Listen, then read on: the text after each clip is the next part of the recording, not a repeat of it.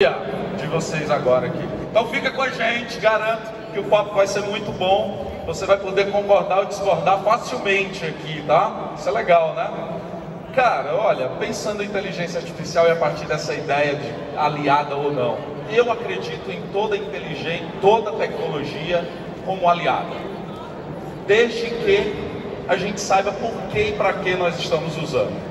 Então tem que ter uma finalidade. Tecnologia é meio, não é fim não é bala de prata que resolve todos os nossos problemas. Não é produto das organizações Tabajara. Seus problemas acabaram.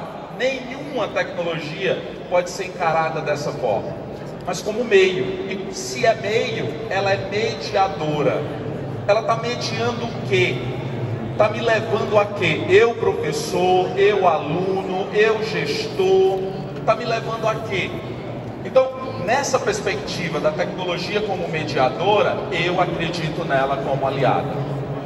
E a inteligência artificial precisa ser olhada como mais um degrau, e um degrau grande, dessa, desse avanço tecnológico, sem que a gente coloque todos os medos e mitos na frente de um entendimento, na frente de, da curiosidade. Então vamos pela linha da curiosidade. Como isso pode mediar as relações de aprendizagem e as relações de gestão dentro da escola. Vamos colocar curiosidade na frente dos medos e mitos, para que então a gente possa fazer descobertas para aquilo que é o meu dia a dia enquanto educador e também dos meus alunos. Então, aliada sim, desde que ela seja mediadora, vamos deixar os mitos e medos de lado não no sentido de esquecimento, mas no sentido de não nos impedir de fazer descobertas interessantes sobre ela. Maravilha. Acho bom a gente colocar que realmente é um aliado, mas não adianta a gente ter um aliado se a gente não souber utilizar esse aliado, né? E a gente vê que a gente está lidando, mas dentro da, da escola, aqueles seres ainda estão em formação, ainda estão ali aprendendo a como lidar com isso. Então a escola tem que ser aquela primeira a ser, ser preparada para a gente poder passar essa informação para os nossos alunos.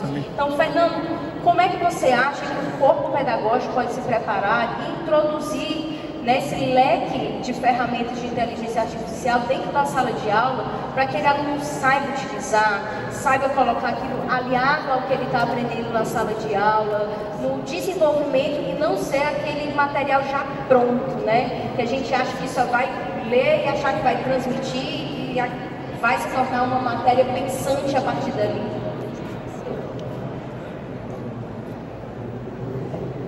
Alô, agora sim, obrigado. É, boa tarde a todos, prazer estar aqui com vocês, poder dialogar sobre esse tema. É, eu acho que não existe escola no mundo hoje preparada para lidar com a inteligência artificial não são só as nossas escolas, talvez nós somos mantenedores de uma escola em São Paulo, a Caminho School, nós temos 440 alunos na escola, nós temos plena consciência de que nós não estamos preparados ainda para lidar com a inteligência artificial.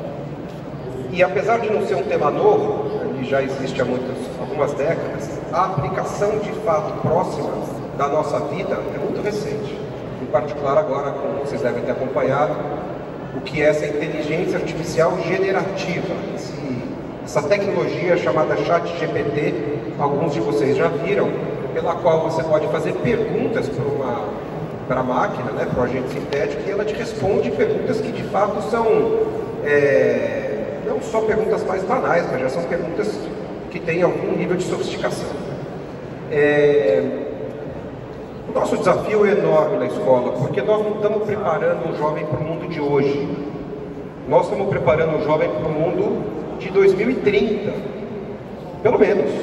Alguém que está hoje sentado em qualquer uma das nossas escolas vai entrar no mercado de trabalho na vida adulta daqui a 10 anos. Então tem um exercício de futurologia que é obrigado a gente fazer, porque no final das contas é uma engenharia reversa do mundo que a gente vê lá na frente como que isso se transpõe para currículo de hoje e pedagogia de hoje. E o mundo de 2030, muito provavelmente, vai ser bastante diferente do que é hoje, no aspecto da relação do homem com a tecnologia. Aquilo que a gente vê hoje, de se entrar no mercado de trabalho e pessoa se diferenciar porque ela tem muito conteúdo, como provavelmente aconteceu com todos nós aqui, ela sabia bastante conteúdo, ela entrou numa grande faculdade, ela entrou no mercado de trabalho e aquilo que a diferenciava não vai ser a norma em 2030 e dali para frente. Porque o conteúdo cada vez mais está disponível de uma maneira muito fácil de consumir via inteligência artificial. Então, saber o conteúdo, aquilo, tá, eu gostaria muito de ao longo da minha carreira, ter tido uma, uma, uma informação sempre constante, enciclopédica, sobre qualquer determinado tema que me diferenciasse, não vai mais ser um elemento de diferenciação. Se eu posso perguntar para a máquina a qualquer momento do tempo, qualquer pergunta, e ela tem uma resposta para mim, por que, que eu sei aquele conteúdo? Então a pergunta não é só como eu me diferencio dos outros seres humanos, é como que eu me diferencio da própria máquina. Como que eu não tenho uma educação hoje que me faz que, é, ter que no futuro brigar contra a máquina. Quem vai ser melhor de saber conteúdo? Meu aluno ou o chat GPT? Nós ou o Google, que é o BART, que é inteligência artificial? É impossível o ser humano saber mais do que qualquer uma dessas máquinas. Impossível. Se nós estivermos preparando os nossos alunos para competirem com qualquer uma dessas máquinas, na largada a gente já sabe que isso é um mau resultado por melhor que os alunos sejam hoje, por melhor que as nossas escolas sejam hoje em preparar para o mundo de hoje, é que nós estamos olhando para o retrovisor do mundo. E quando a gente olha para frente, conforme vai se tornando mais clara a realidade do mundo, o jovem tem que ter a capacidade de sim ter um conteúdo fundacional, sem isso não tem conhecimento, mas de aplicar aquilo em situações da vida prática que são mais complexas do que aquela que uma máquina consegue lidar em particular ambientes em que tem muita relação humana. Esse é um algoritmo muito difícil da máquina ocupar, que tem empatia, que o jovem é capaz de sonhar, de criar, de liderar, de estimular, itens que são mais difíceis de uma máquina fazer. Não impossível, mas mais difícil. Essa pedagogia para devolver para vocês é uma pedagogia diferente da que acontece hoje. Eu sentar um jovem ele ficar exposto 5 horas por dia, 5 dias por semana, 365 dias por ano, a um massacre de conteúdo, para que ele passe nos melhores vestibulares, incluindo ITA, incluindo faculdades de medicina, incluindo qualquer super faculdade que a gente hoje repute como sendo o sucesso da educação, não mais sozinho responde para a educação do futuro, responde para a educação de hoje. E esse, para nós em particular, é um choque, porque a gente se preparou muito para esse outro.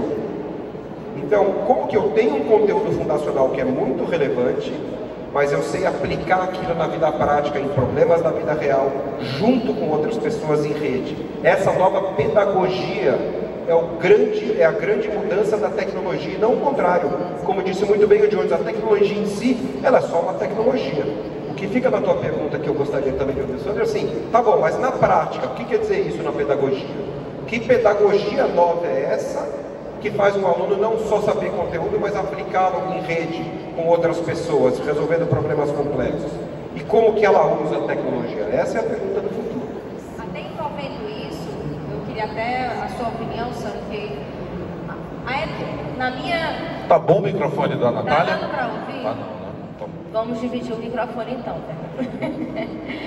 Na minha época, né, a gente era muito preparado, que faz parte dentro da escola, a gente está preparado para a parte profissional, né, para as profissões que estão hoje.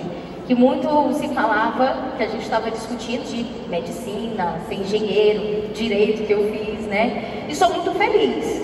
Mas a gente vê hoje uma gama de outras profissões que estão entrando no mercado conta da questão da inteligência artificial. Então, dentro da escola, como é que está sendo essa preparação? Né? O que é que as escolas podem fazer para existir essa introdução, esse raciocínio e, e, a conectividade do que é ensinado dentro da sala de aula para preparar para essas profissões? Para dizer, olha, você tem essas opções também para ser aqui no futuro, porque está tendo um desenvolvimento da inteligência artificial. Vamos precisar de seres pensantes para desenvolver essas máquinas, né? Porque as máquinas não, não vão se construir sozinhas. Então, como a escola pode começar a colocar essas profissões dentro ali da grade dela? O que é que ela precisa trazer ali para o chão dela, para os alunos dela? Legal. Bom, boa tarde a todo mundo aí, os vencedores que ficaram até agora com a gente aí. É, bom, esse é um tema e eu queria até problematizar um pouco mais, viu, Natália? Porque eu acho sim que é uma super aliada, tecnologias de maneira geral nos ajudam muito, a sociedade é o que é hoje graças ao avanço da tecnologia, mas ela também traz muito ruído e provavelmente nós vamos ver nos próximos 5, 10 anos algo que a sociedade nunca experimentou. Quando a gente fala de inteligência artificial, especialmente agora da generativa, é completamente diferente de tudo que a gente experimentou no passado. E ela vai mudar de tal forma a sociedade que a gente vive, que se as escolas não nos ajudarem a criar um novo perfil de sociedade, a gente vai viver tempos muito difíceis.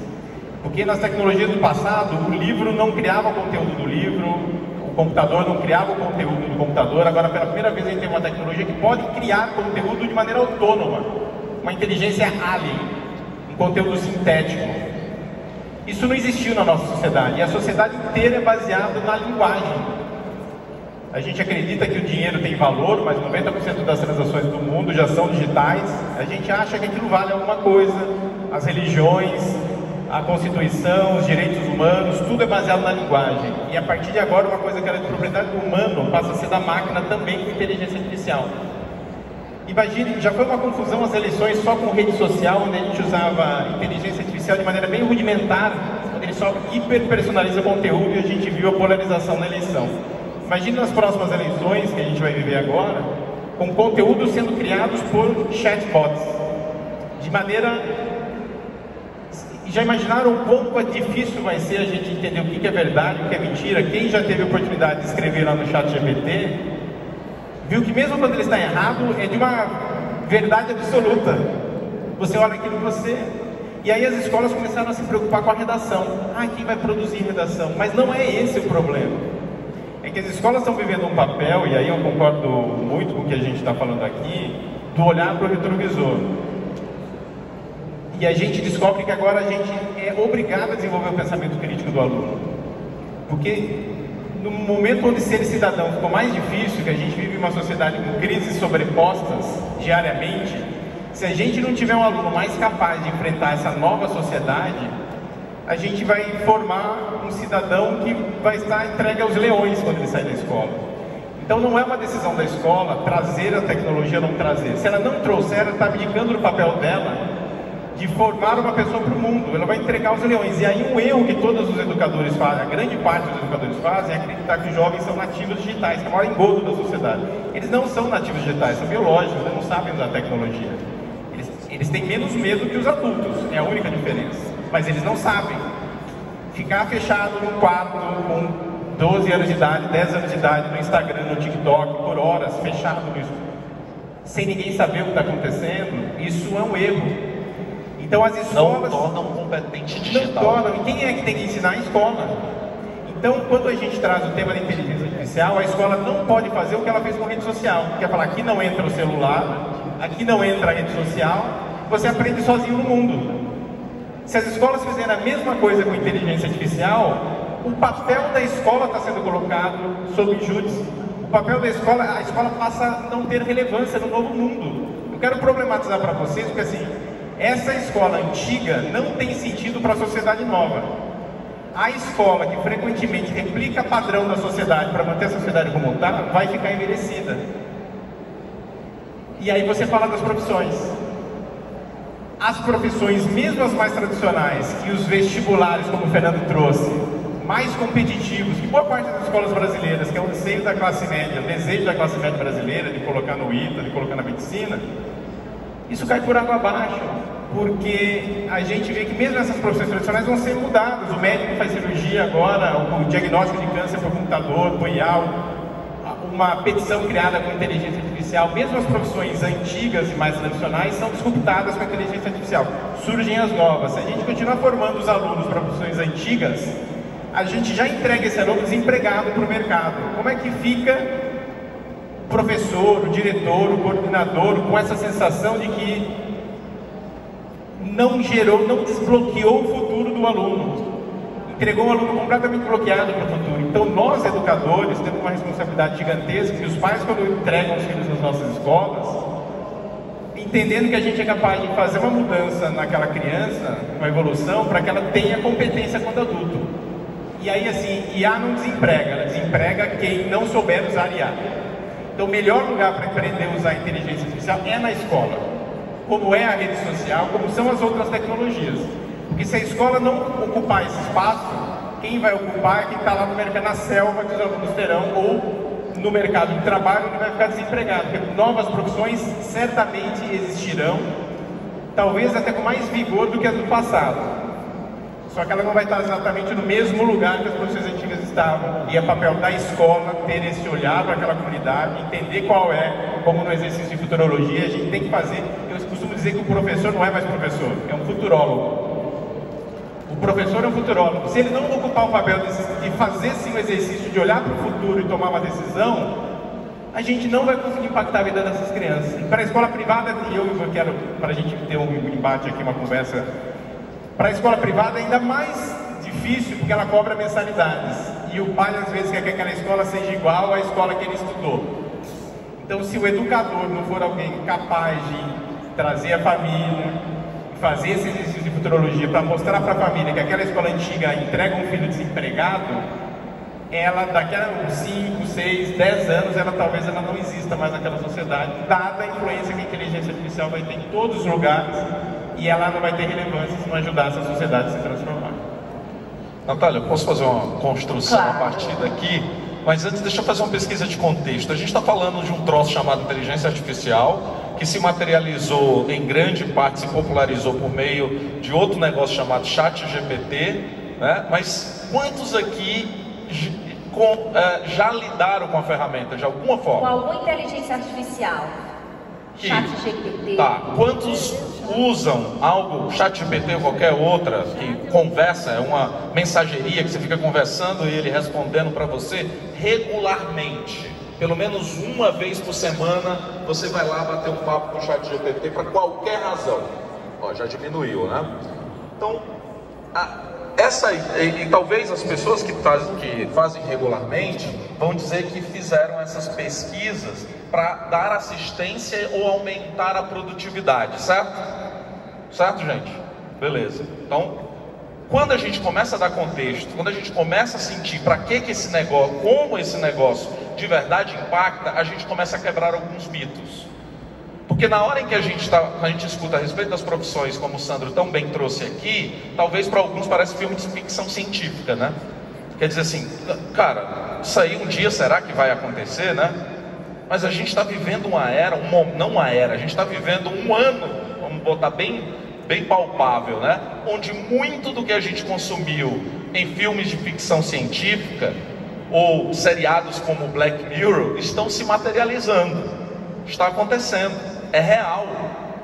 Pode você não ter, ainda não ter, não sei por que razão, ainda não pegou você, mas isso está acontecendo e aqui é a hora de falar de contexto.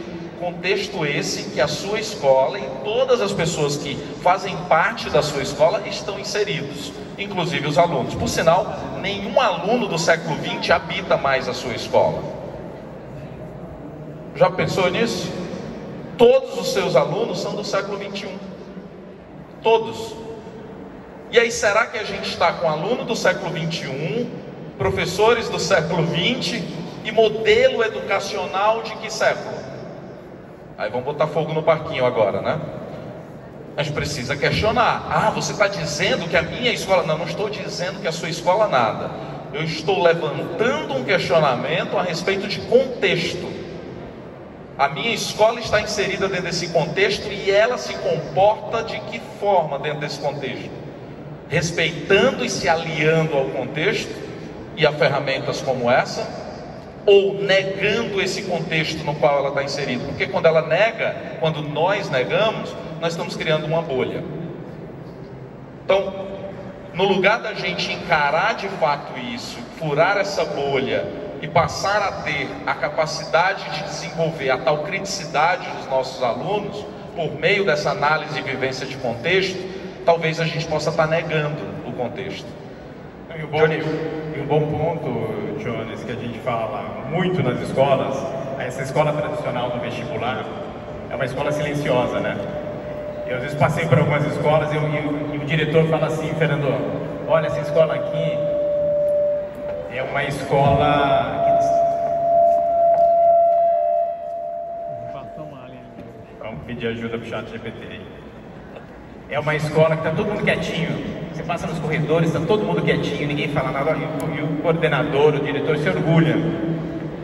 E a escola moderna, a escola nova, é uma escola que trabalha para projeto, que está desenvolvendo, trabalhar, gente, desenvolver habilidade nova é fazer, igual é na academia, você tem que ir para a máquina, não adianta estudar o que a máquina faz, você tem que ir na máquina lá e fazer senão seu músculo novo.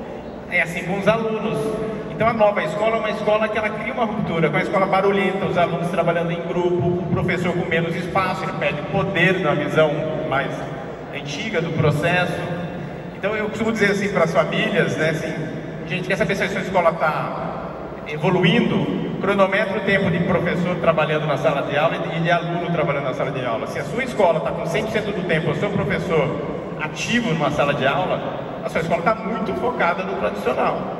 Se você já tem muito tempo da sua aula com os alunos trabalhando, você já está construindo habilidades novas. E aí a gente nem tocou aqui nos assuntos, mas desenvolver o cidadão global, educação bilíngue, o socioemocional, projetos interdisciplinares, são coisas que vão fazer muito mais sentido para os estudantes do que a escola regular que está ensinando o aluno a fazer questão em um minuto e meio. Então, acho que até devolvo para o Fernando, também é especialista no tema aqui, acho que é super importante as escolas entenderem que tem muitas tendências e muitas oportunidades disponíveis agora. A escola é um novo hub de aprendizagem. Você tem o upskill, né? as famílias vão precisar mudar o seu perfil, os alunos, os professores.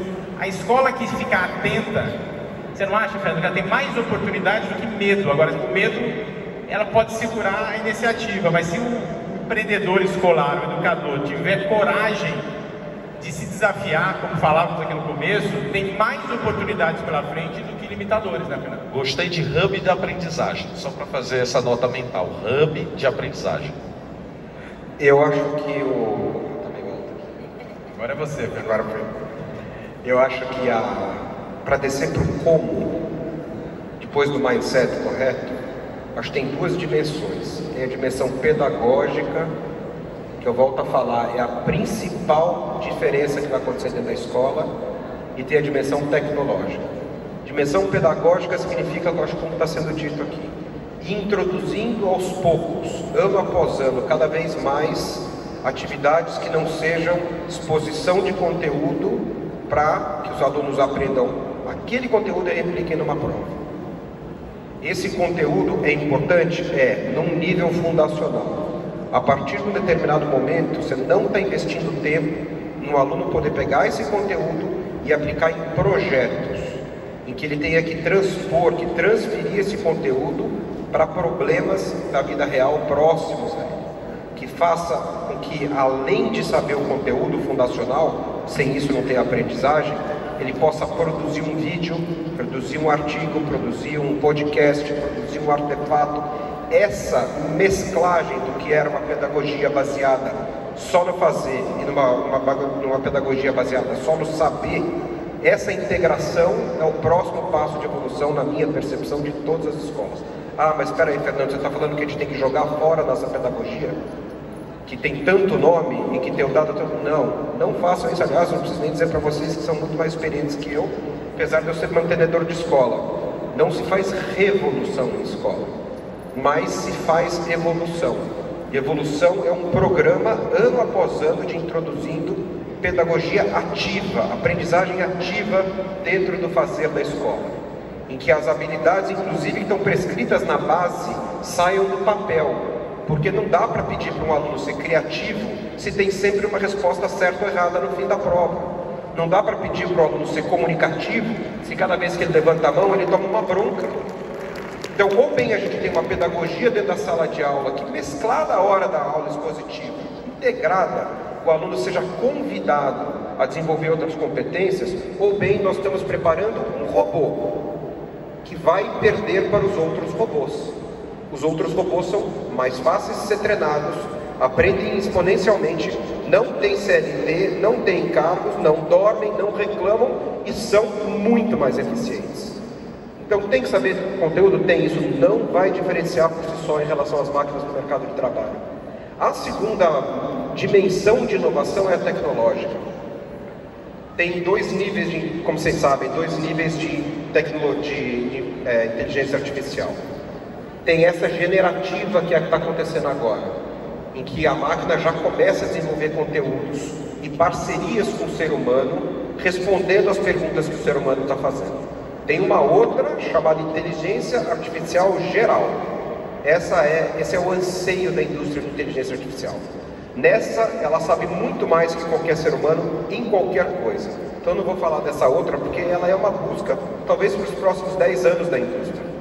Mas na inteligência artificial generativa, o principal papel da inteligência artificial, e não é diferente na escola, é o de copiloto, é o de assistente, é o de aumentador, se existe essa palavra, de produtividade. Ah, eu sou um professor, eu sou uma professora, eu quero dar uma aula aqui sobre Camões. O que, que eu posso dialogar aqui com a inteligência artificial que ela vai me dizer sobre Camões que não está no livro ontem? Como é que eu posso fazer uma, uma aula que talvez não esteja prescrita na minha apostila super tradicional, que tem uma aula invertida, um novo plano de aula, que eu posso perguntar para o chat como faz? Se eu sou coordenadora, como é que eu posso, junto com as outras professoras, começar a ensinar o ChatGPT ou outras plataformas a justamente fazer um programa que tenha baseado nisso. Então, cada vez mais vai haver um investimento, inclusive das próprias provedoras de conteúdos para vocês, para integrar a inteligência artificial naquilo que está sendo oferecido. Senão vocês vão jogar no lixo. Uma apostila tradicional, em papel, super bonitinha, que você mostra para o pai e fala, olha aqui, como os filhos cumpriram. Vocês vão lembrar um dia e falar assim, nossa, tinha um cara sentado ali numa palestra, não tinha cabelo, ele era meio agressivo, fazia umas predições. Isso vai ser jogado no lixo. Isso é passado já hoje. Você fala assim, puxa vida, mas é um sacrilégio. O livro vai ser jogado, o conteúdo não. E claro que sempre vai existir caderno. O caderno é muito importante para aprender a registrar. Mas quando eu era aluno na escola, eu escrevia na, no livro, meu pai ficava muito bravo. Quem inventou esse negócio de escrever em apostila foram as editoras para ter material consumível, ou não foi? Então, conteúdo digital formado é, pra, de um meio interativo em que a professora vai podendo fazer perguntas, os alunos vão fazendo fazer perguntas, que é atualizado todo todo tempo, todo minuto, todo ano. Esse é o futuro, inclusive, do material que vocês vão utilizar. E já dá para fazer isso desde agora, no planejamento de aula, no, no, na parceria com o aluno quando ele está fazendo perguntas. E eu concordo com o que foi dito aqui para devolver a bola para vocês. O negacionismo é normalmente a resposta fácil e errada. É aquele negócio de dizer assim, eu posso negar a realidade, mas eu não posso evitar a realidade. Então, enquanto eu estiver negando, parece que a realidade é aquela que eu estou promovendo. A máquina, a parceria cada vez maior entre o homem e a máquina é um fato da realidade não é passível de discussão. É aí que está indo o mundo. A discussão é quanto que eu quero já fazer um convite muito bem feito para os meus professores, fazer um convite muito bem feito para os pais, que não façam uma revolução na escola, mas que comecem a introduzir essa discussão. Pais, cuidado, se a gente não tiver o direito de errar aqui na escola e começando a fazer a introdução de tecnologia de aprendizagem ativa, talvez seja tarde demais no futuro vocês mesmos vão voltar daqui a 5, 6 anos e falando: como é que vocês não prepararam nossos filhos para isso? Vocês são os educadores, não nós. Então, esse tipo de diálogo com os professores, de falar: ninguém aqui sabe fazer. Mas vamos lá, quantos professores vocês conhecem que não, que não usam WhatsApp? Levanta a mão aqui quem não usa WhatsApp. Levanta a mão aqui quem não pede comida no aplicativo. Tudo negacionista faz... da tecnologia. Ninguém usa e tecnologia. Aqui, ó, não depende de idade. a mesma pergunta é feita para quem tenha 80 mais muito alto e 8 mais muito alto. Todos usam a tecnologia. Não existe resistência à tecnologia do professor. Isso é uma falácia que existe. Existe um sistema dentro da escola que não está convidando bem o professor para poder errar usando uma tecnologia que ele não está tão acostumado a utilizar quanto o livro. Mas se o convite for diferente, inclusive para os pais, falam, nós vamos errar agora no começo. Cada vez mais a gente vai ter aprendizagem ativa, coisa que a gente não tinha. Cada vez mais a gente vai ter tecnologia. Vocês precisam dar esse voto de confiança para a gente. Para a gente fazer esse movimento de futuro junto, vai me lembrar, aí sim, voltando no, no exemplo que foi dito aqui, daquela pessoa que você joga do 25 andar e perguntam para ele no 23 como é que tá. Ele fala, até agora tá ótimo. Até agora não aconteceu nada, mas é óbvio que a gente está indo numa direção, desculpa o exemplo mais dramático, em que o modelo de escola que a gente tem não cumpre uma função social. E são os próprios pais que hoje endossam a nossa escolha que vão bater na porta depois vão dizer assim: legal, por que, que vocês não mudaram? Quem foi para a faculdade de educação? Fui eu ou foi vocês? Vocês falharam com meu filho. E eu acho que a gente não devia ir por aí. Eu, eu queria até fazer um estilo aqui Maria Gabriela, tá? Um bate-volta não é só uma palavra não, mas tem que ser curtinho. Mas queria saber de vocês três. Eu como mãe, eu tenho um grande desafio e eu não sei se é a dor de todo mundo, eu falo muito para escola do meu filho, olha, eu não sou formada em pedagogia, a gente está formando um ser junto, né? Porque a relação com a escola é uma relação muito única e de confiança que precisa ser seguida, em que nas minhas dúvidas eu busco a escola para a gente poder estar tá junto ali no mesmo caminho. E eu sinto muito que às vezes a gente tem um desafio, porque para mim como mãe é uma área ainda muito desconhecida. E o desconhecido dá medo e às vezes a gente pode errar. E eu busco a escola, assim, qual é a dica diante desse relacionamento que a gente tem com a escola, que até o Fernando já colocou? Como esse corpo pedagógico, como essa escola pode então se preparar para dar esse apoio para a família, para essa tríade continuar, para a mãe ou o pai não chegar na escola e sentir aquele receio, achar que o filho não está preparado, ou que a gente tem muito medo da maternidade, né? Que é as telas fazem mal, mas eles precisam ainda assim ter essa continuidade dentro desse mundo da tecnologia. Qual dica vocês podem dar? Um minuto contato com o relógio para cada um. Esquema pitch, é?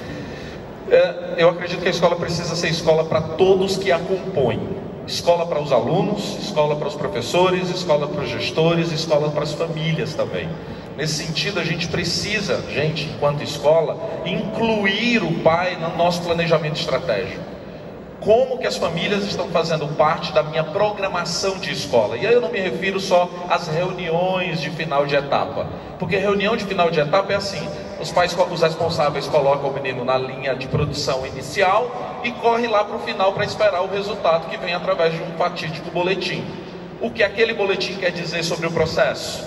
Ele não sabe, ele não participou do processo, ninguém o envolveu a gente só chama no final. Aí alguém vai dizer: é, mas a gente chama para várias programações, só vai os pais que a gente não quer que vá, os que a gente precisa que vá nunca vão, não é assim que a gente fala? Infantil e Fundamental 1 está lotado, Fundamental 2 e médio está esvaziado de, na sala lá dos pais. A gente vive essas brincadeiras, essa, essa máxima o tempo todo. Mas se a gente não começar uma nova cultura, ela não vai acontecer do nada. Daqui a cinco anos, eu vou querer ter começado hoje, fazer algo diferente. Então, envolva as famílias no que a escola faz. Conta para as famílias quem é você, escola? Por que, que você avalia do jeito que avalia? Por que, que você usa a metodologia que usa? Por que, que você adotou o material que você usa? Por que, que vai tanta tarefa de casa? Aliás, para que tanta tarefa para casa? Fecha parênteses. Então, por que isso? Para que isso? Eu preciso explicar isso para as famílias. Em elas entendendo, percebam, entendendo, não necessariamente concordando. Em elas entendendo, aí elas vão começar a fazer parte do jogo. Seja aliado, seja criticando e me ajudando a melhorar, mas vão fazer parte do jogo. A escola precisa ser escola para a família. Bom, eu vou pegar o gancho aqui e dizer que experimentação é palavra de ordem e começar pequeno. Como inovação é assim, a gente tem sempre risco envolvido. Então a gente vai ter que escolher uma turma menor, um professor mais engajado para experimentar. Tem que ser um ambiente de conforto, de segurança, como nas empresas, é o que a gente chama de cultura de startup, cultura de agilidade. Você tem que ter um ambiente seguro para as pessoas experimentarem, tem que dar autonomia para as pessoas experimentarem muita escola é comando e controle. O direito só acontece se o diretor estiver junto, se ele determinar esse movimento de comando e controle, não funciona mais nem nas empresas e nem nas escolas. Totalmente centralizado. O mundo é descentralizado. Para ser ágil tem que ser descentralizado. E a gente não vai pôr a escola em risco. Então, eu estava na semana passada, eu quero concluir falando sobre isso. Semana passada a gente criou o nosso chat GPT dentro do AZ e eu fui experimentar em algumas escolas. E na semana passada eu fui visitar as escolas do projeto piloto. E a gente pegou nas escolas, qual é o seu professor mais resistente? Vamos fazer com ele? E a gente pegou uma turma com um professor resistente. E eu fui visitar uma escola em Araçatuba na semana passada. E eles fizeram projetos que, nem, que o nosso time pedagógico nem imaginou junto com nós, a gente chama de Azelha. Eles estavam lá no meio de uma reunião para criar uma startup, que era um projeto de empreendedorismo de um itinerário formativo, e naqueles, naquele grupo faltava o gerente de marketing, porque vários alunos eram um papel na empresa. E eles fizeram com que a Azelha, que é o, o similar ao chat GPT, fosse o funcionário de marketing. Disseram, ah, você a partir de agora é o colaborador de marketing. E todas as respostas da Azelha, do chat GPT, no grupo, na aula, era como se ela fosse a pessoa de marketing. Então a gente, experimentando, descobre um monte de coisas, gente. É o modelo que as startups fazem. Ela vai para campo para ver como é que aquilo acontece na prática. Porque às vezes no ar-condicionado, fechado no escritório, você não consegue ter acesso a todas as respostas. Então escolham bons parceiros, bons fornecedores, que você tenha confiança junto com o seu time pedagógico, com aqueles alunos que estão engajados para começar a experimentar. Inovação é um movimento que começa pequeno e se torna grande exponencial. Só tem um jeito de dar certo, começando, dar o primeiro passo. O primeiro passo é pequenininho, no ambiente de segurança. Fornecedor seguro, professor que está junto com a gente, que se a gente errar tudo bem, vamos seguir. E quando você tem uma escola de experimentação, você tem a nova escola. A nova escola que a gente tem visto nos países, a gente está em 34 países hoje. Quando a gente olha os países mais envolvidos, Finlândia, Canadá, Coreia do Sul, o que, é que eles têm de diferente do que a gente tem aqui? Que lá o lugar para errar e para acertar, para experimentar, para a gente buscar coisas novas é o lugar da escola. A gente não pode entrar médico na educação infantil. O pai matricula na nossa escola para saber o resultado do Enem da escola. Qual é o seu resultado do Enem? Meu filho quer ser médico, tem três anos.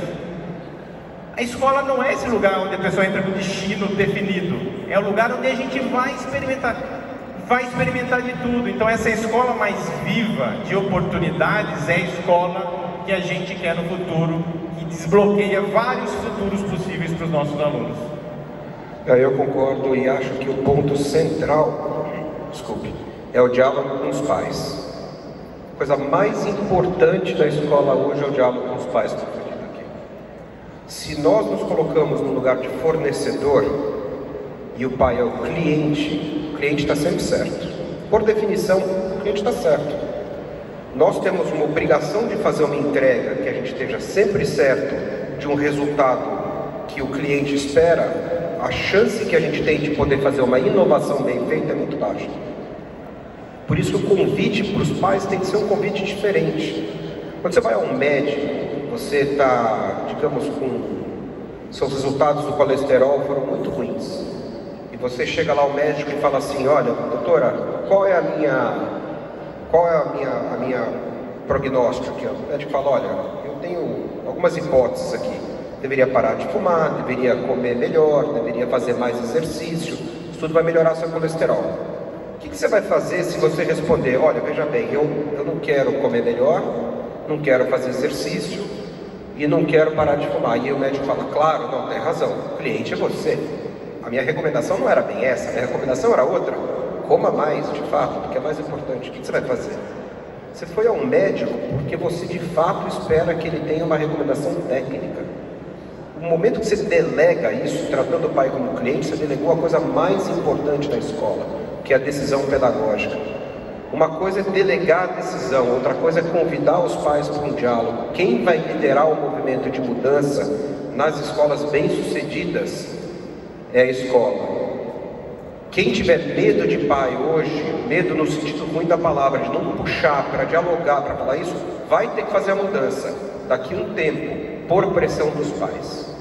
Porque a mudança vai acontecer formar jovens que exclusivamente estão preparados para passar no vestibular num mundo em que as outras competências são aquelas que vão diferenciar e acham que colocar um programa socioemocional uma hora por semana resolveu o problema, esquece. Estou sendo mais contundente aqui para ficar marcada também minha fala, além dessa minha imagem talvez meio caricata, mas essa é, na minha, na minha perspectiva, a questão mais fundante, como que eu convido os pais para dizer, nós com muita responsabilidade, dada a nossa capacidade de fazer coisas para os seus filhos, estamos promovendo um próximo passo. E a gente precisa ter um novo contrato com vocês, um que a gente tenha o direito de fazer isso, sob pena de vocês não quererem, com razão, ficar mais na escola no futuro. Nós vamos introduzir aprendizagem ativa. Mas são, peraí, não estou entendendo, em todas as aulas? Não. No segmento que a gente quer começar, talvez seja no infantil, talvez seja no Fundamental 1, com o professor que a gente mais tem confiança de que vai fazer de uma maneira aberta. Eu quero introduzir a tecnologia lá dentro. Eu estou fazendo os, os, alunos começarem a discutir isso com o chat GPT. Poxa, mas como que você vai fazer isso? Puxa os alunos mais velhos, que têm mais autonomia, capacidade de fazer em uma das disciplinas, não precisa ser em todas. Esse ambiente que depende de ter abertura do pai para a escola poder dar um passo de inovação, que presume o erro. Não existe inovação sem erro. O erro é um passo da inovação até se chegar no acerto, como não é diferente na pedagogia. Como, aliás, não é diferente na vida, no aprendizado. A gente só aprende a andar porque a gente caiu no chão. Então, se a gente não tiver, quando criança, cada vez que você cai no chão, o direito de continuar andando, porque você errou, você nunca vai andar. Esse tipo de diálogo com as famílias